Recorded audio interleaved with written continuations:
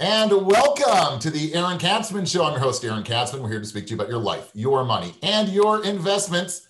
And as always, we're coming to you from the spiritual and soon to be financial capital of the world, Jerusalem, Israel. If you got any questions or comments, feel free to email me at Aaron, A A R O N, at lighthouse with an L, lighthousecapital.co.il.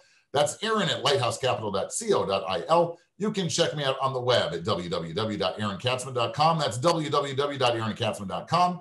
You can find me on Twitter and be sure to subscribe to our brand new YouTube channel at Aaron Katsman. Well, it's my honor to introduce to all of you Andrew Treitel, who is a veteran attorney with more than 20 years experience, specializing now in inheritance, trusts and estates, and elder law. He's admitted to the bar in New York and in Israel. And having lived and worked in both the US and Israel, Andrew is familiar with the cultural and business norms in Israel and abroad. And that's really important because there are big cultural differences. Um, he's got many years of corporate law and general counsel experience. He, bring, he brings a broad view of individual clients' needs and enables the client to consider other elements of the matter being handled. Andrew, welcome to the show. It's a pleasure to be here. First of all, I want to, before we get into it, I'm curious because I gave that little preamble. Um, and you spoke about cultural differences between the US and Israel. Uh, this was not planned, but what do you mean by that exactly? Um, well, I think the most famous cultural difference in the business context is that in America, when you finish a meeting and you seem to have summed up everything at the meeting, in America, the assumption is the item is done, you close the matter, and now you're moving forward. Where in Israel, it's often, okay, that's an interim conclusion, and now we can still re- renegotiate and open up the matter again. Okay, okay, good. Well, that means we can, once we finish the show, we can bring you back. Because we're based in Israel. okay. Um, I'd like to start off. You're an expert in um, Israeli enduring powers of attorney. Okay, that's something that's become sort of hot and relevant over the last couple of years. Um, first of all, not everybody can do that, correct? You have to have like a special license uh, in order to do that. We'll get into that. But can you also explain to us what that is? Sure. So, in Israel, we call an enduring power of attorney, is what in America is usually called a springing power of attorney.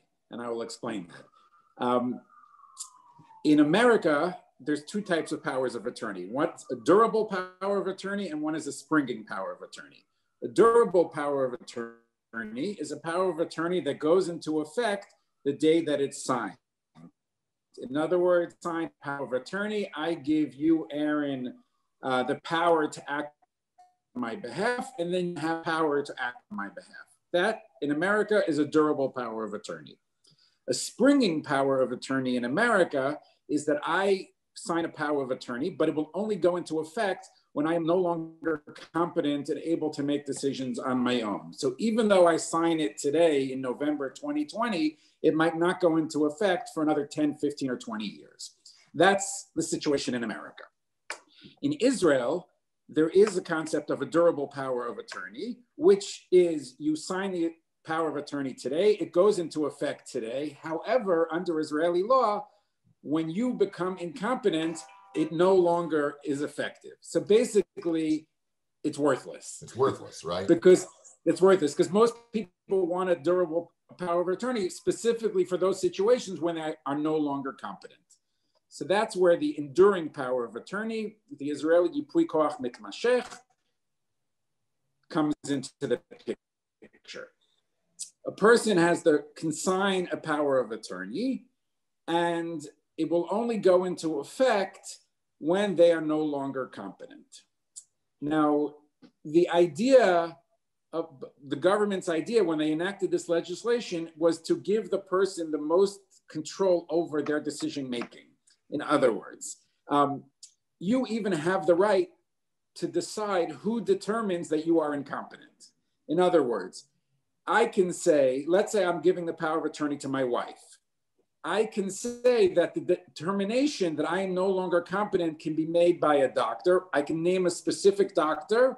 I could say it needs to be done by a doctor in coordination with my sister. I could say it could be my best friend. I could say it could be three doctors. In other words, for people that are afraid that the power of attorney will go into effect before they're really incompetent, you can choose who makes that determination. So, on the one hand, it gives you a lot of leeway and a lot of discretion. On the other hand, it sometimes gets complicated for people because they don't really know what to decide. If you don't decide anything, the default right now under the law is any doctor. So some will take you to a doctor. The doctor writes a letter basically saying this person can no longer make decisions. And then the power of attorney goes into effect. Okay, so, so let's say, so let's just clarify for a second. Let's say I have uh, an elderly parent, okay, who's who's becoming uh, whatever potential dementia issues or just getting older, and you're you're worried at some point that there's going to be a, a, certain incompetence uh, coming up, and will not be able to make rational decisions for yourself. You would want to then for themselves. You would then want to create one of these uh, enduring powers of attorney, correct? Correct. And they, and they, they obviously are they both to- on, sorry to interrupt, it, it, it relates to both medical and financial matters or just medical matters? How does that work? Okay, terrific question. And that's what I want to discuss next. The enduring power of attorney covers three matters financial matters, medical matters, and what's called personal matters. Okay, financial matters is pretty straightforward. Uh, medical matters is basically anything that requires a doctor. However, it does not include end of life decisions, which I'll back to in a minute. The third item is personers, and those are matters that don't necessarily require a financial institution and don't require a doctor. So um, it could be let's different types of treatment or physical therapy or um, signing you up for courses in an old age home that could be under the personal matter. Uh-huh. So the Israeli enduring power of attorney covers three items: financial, medical, and personal. And now I mentioned end of life decisions. In Israel, there's a separate law that applies to end of life decisions, what in America people call DNR, do not resuscitate. The law says that if you are in a situation where you have an incurable disease and you have less than six months to live, as the doctors determine, then someone can you can give a power of attorney. Um, in America, it's called a healthcare proxy. Okay. Obviously, you don't wait until the six months to do it. You can do it way in advance, but it only applies to situations when you have six months to live and an incurable disease. So that's a separate document that you actually don't need a lawyer. There's standard forms from the Ministry of Health. You can download them. I can send them to you, but you can download them and you just submit them to the Ministry of Health. On the enduring power of attorney, when I said it covers medical matters, there it covers all medical matters that are not related to the end of life. So, for example, if someone has dementia but they need hip surgery, um, so someone needs to sign the documents at the at the doctor's office or the hospital. All other medical treatments, eye treatments, um, all things like that are covered by the enduring power of attorney. Okay. Now, the way the enduring power of attorney is built, as opposed to a traditional American power of attorney where you just appoint one person, the Israeli power of attorney, by its design allows you to appoint a different person for the financial, for the medical, and for the personal. So, in, if your example, if someone's parents are leaning towards dementia, and they say, you know, one of my children is a doctor. I want that child making the medical decisions. Another child uh, is a, a, protege of Aaron Katsman, so I think that he should make the financial decisions. And another child is is a social worker and they should be making the personal decision Uh-huh. That you have the right to do that. You could appoint different people for each different uh, item. You could always appoint the same one for all three. You can also appoint more than one. In other words, you can say, for each of those decisions, I want it to be both of my children. I have clients that said, I want all four children involved in a decision. And then we have to then say, okay, but what happens if it's a 2 2 tie? So you have, on the one hand, you have a lot of leeway to put a lot of verbiage and language into the document. Sometimes it scares people and they want to make it as simple as possible. Other people have thought about it and really want to give detailed instructions. In addition, you also have the right to give specific instructions. For example, many of my clients say, as long as that I have the financial means, I would like to be kept at home with home care, not sent to an old age home. I have another client that says, every new year I send each grandchild $100. If I'm no longer competent, I want you to continue doing that. I have clients who say, I always give to this charity every year. Even if I'm no longer competent, please continue doing that. So you have a lot of leeway to, uh, to put the instructions that you want, or you could leave it, so to speak, blank and basically trust that the person you're appointing knows what your wishes are. Okay. Yeah. One other thing, sorry, is that it also has built in that you can appoint a backup. So let's say you're appointing your son, who's the expert in financial matters, but if for some reason he's not available, you can already say who you want the backup person to him to be. Oh, that's interesting. So let me ask you a question because I, I think that the um, thought is, well, I'll wait for my parents, for example, to get elderly, and then we'll we'll try and do it. But is should this? I I, I know a few people who, who who've done things a little bit differently. I would assume that like if you're doing a will and doing other estate planning things, you should take care of this when you're much when you're much younger. Is that would you sort of say that's good advice? I definitely think it's good advice that when someone is considering their general estate, they should be ha- they should have a will and they should do this in Israel an enduring power of attorney and they should also do the, the healthcare documents that I mentioned the end of life healthcare.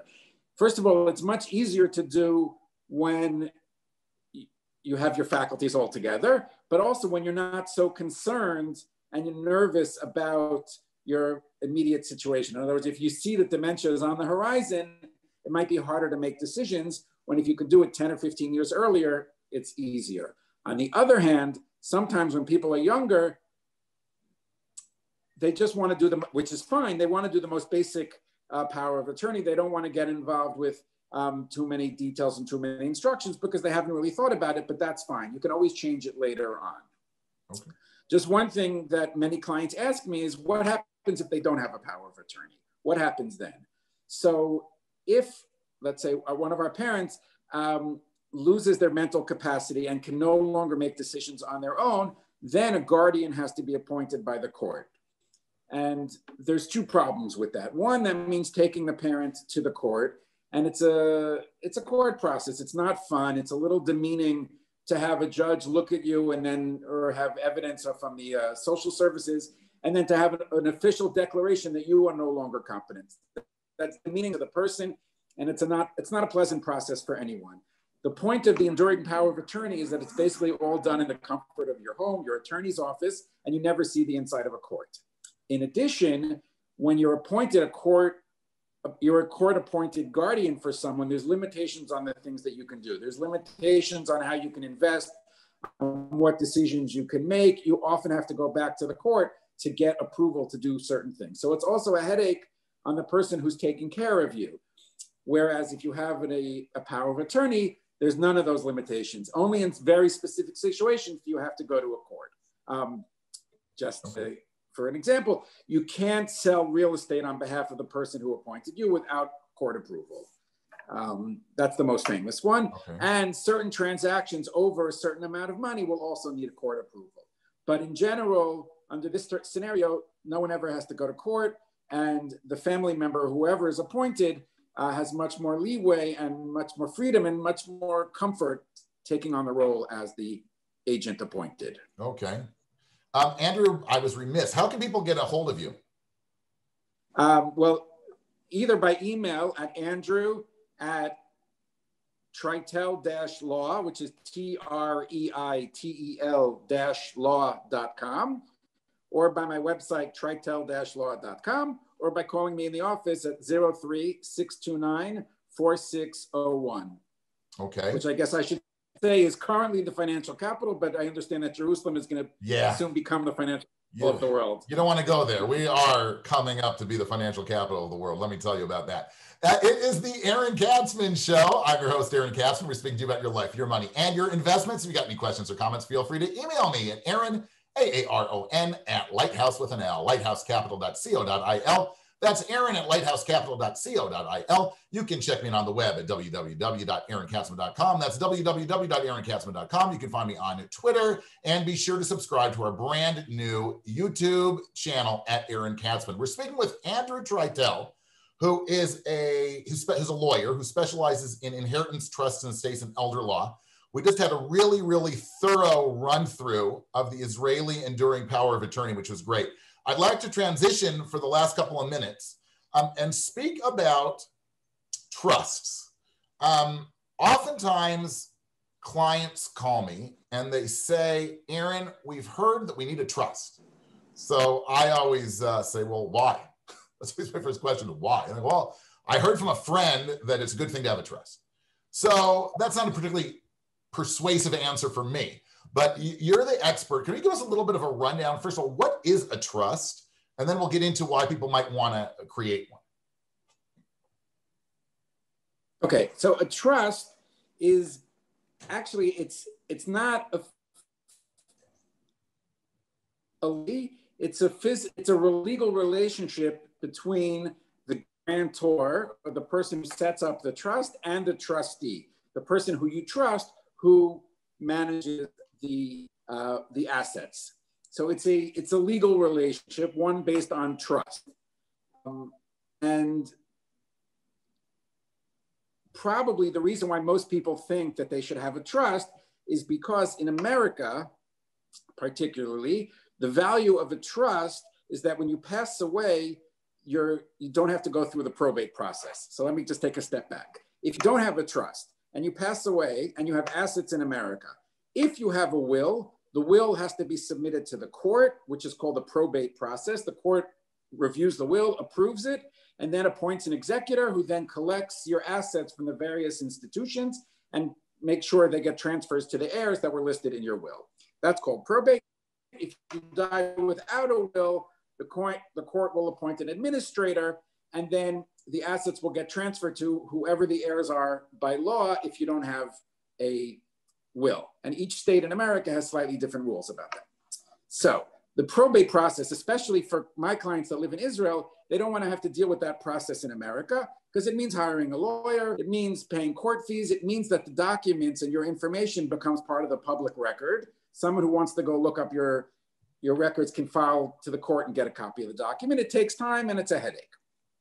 So many people in America set up a trust. So again, a trust is a relationship. So if you have what's called a revocable trust, or sometimes it's called the living trust, it's a trust that can be changed over time.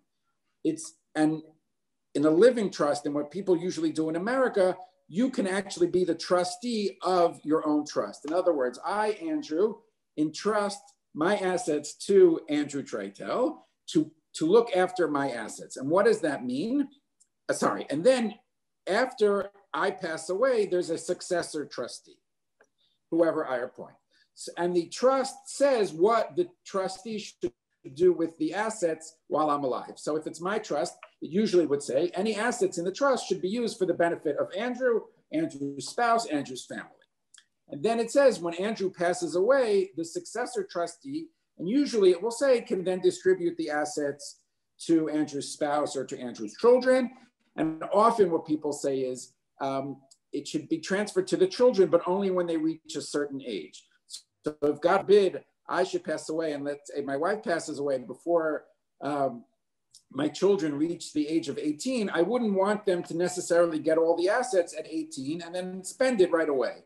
So in the trust, I would say maybe they should only get a certain amount when they're 20, 25, 30, 35. Okay. Um, so basically what I just said was there's two main reasons for having a trust. One is to avoid probate, and two is to set is to spread out the distributions over time. Now let me just explain why it avoids probate. And even though I said it's not a legal construct, it's very similar to a corporation. If I own shares in a corporation, I pass away, the, corp- the corporation's bank account still exists. So even though I've passed away, um, from, from the bank's point of view, nothing has changed except maybe the signature rights of the corporation. So here too, if I have a trust um, and then I pass away, all that needs to change is that we notify the bank and say, Andrew is no longer the trustee of the trust. It now is somebody else, but everything else continues. So there's no paperwork that really needs to be done other than one piece of paper. Um, nothing needs to go through the court, and everything just continues. The accounts all continue as if I were still alive. Um, just one thing I guess I, I skipped and I didn't say is when you set up a trust, what you need to do is you need to say, my account that right now is in the name of Andrew Treitel, I'm transferring those assets from my account to a new account, and the name of the new account is the Andrew Treitel Trust. So that for tax purposes, that's not a taxable event. So even though the account has changed names and changed account numbers, that's not considered a transaction for tax purposes. And every financial institution is very familiar with this. It doesn't create any extra paperwork. It's very simple and very easy to do. Okay. So, how does that relate, let's say, in Israel? You mentioned how it works okay. in, in America. So, let's get to Israel. Okay. So, in Israel, if you're an Israeli and only have assets in Israel, there's not much need for the type of trust that I said, a revocable trust. Um, if you're an Israeli living in Israel, but you do have assets in the States, like many Olim, many people who move to Israel and many people who use the fine services of Aaron Katsman, then you do have assets in the States. And uh, then it does make sense to avoid probate to uh, set up a trust. Now, I don't know if time permits. The other type of trust that some people have is what's called an irrevocable trust. That is a trust that you can't change over time. And the main reason why people, there's two reasons why people have those type of trusts. One is for estate tax planning, um, that US citizens are subject to a estate tax and Israeli citizens that have US assets above $60,000. I don't want to go into all the details now, but one way to, to minimize the total estate tax that you would have to pay when you pass away is by transferring assets while you're alive into an irrevocable trust. Um, of course, now there was just an election in the states, and one of the one of the issues that they're discussing is will the exemption limit for estate taxes be reduced from 11.5 million back down to 5 million or 3 million? Nobody knows. A lot of it has to do with what happens in the Georgia elections, if the Senate has Republican control or not. But that's an issue to keep to be aware of in the coming year is uh, estate tax in the US. The other reason why to set up a, an irrevocable trust is what's called asset protection. It's a way of taking assets that are mine and putting them in a structure that is no longer legally it's no longer mine. It's held by the trust and by the trustee. So if someone sues me personally, let's say I'm a lawyer, um, and if they even though I have a legal, I have a, a firm and a company under Israeli law, I could still be sued personally. So if I want to protect my assets, so if somebody sues me, or if I'm a doctor and I get sued for malpractice, I want to make sure that there's money on the side that even if I get sued for everything I own and I lose and I have to give up all my money, I've already set aside money in a separate irrevocable trust for asset protection purposes. So those are the two reasons that people have irrevocable trusts. Great. Andrew, once again, how can people get a hold of you? Uh, you can call me in my office at 03-629-4601. If you're calling from the States, you can call 917-724-2150, which forwards to me in Israel. You can email me at andrew at treitel-law.com. That's T-R-E-I-T-E-L dash law.com. And my website, treitel-law.com. Thanks so much for, for joining us. And I hope we can, uh, like we said, we'll, we'll pick up the conversation uh, another time. We'll speak again. With pleasure. Thanks Thank so much. It's the Aaron Katsman Show. I'm your host, Aaron Katsman. We speak to you about your life, your money, and your investments. You got any questions or comments? Feel free to email me at aaron at lighthousecapital.co.il. You can check me out on the web at www.aaronkatsman.com. You can follow me on Twitter and be sure to subscribe to our brand new YouTube channel where you get all of our interviews and all of our content directly into your inbox. Take care, and we'll speak to you soon.